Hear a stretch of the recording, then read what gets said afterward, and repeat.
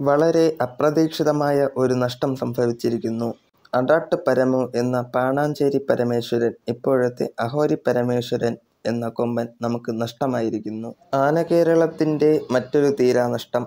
കൊമ്പൻസ് ഗ്രൂപ്പിന്റെ കൈവശമുണ്ടായിരുന്ന കൊമ്പൻ.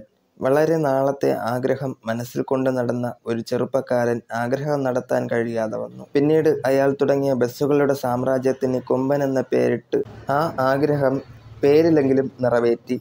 എന്നാൽ ഒരു ആഗ്രഹത്തിനു വേണ്ടി കഷ്ടപ്പെട്ടാൽ അത് നടക്കും എന്ന് തെളിയിച്ച വ്യക്തിയാണ് ദീപു. കാലങ്ങളും കാലചക്രങ്ങളും മാറി മറിഞ്ഞപ്പോൾ ദീപുവിനും സ്വന്തമായി ഒരു കൊമ്പൻ.